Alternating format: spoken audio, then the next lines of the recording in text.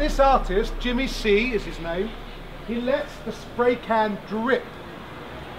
Uh, he coined the phrase aerosol pointillism a few years ago. His name is TWAT, T-W-A-T. Now for those of you not from Britain, that word has another meaning I'm not going to tell you, you can ask somebody else.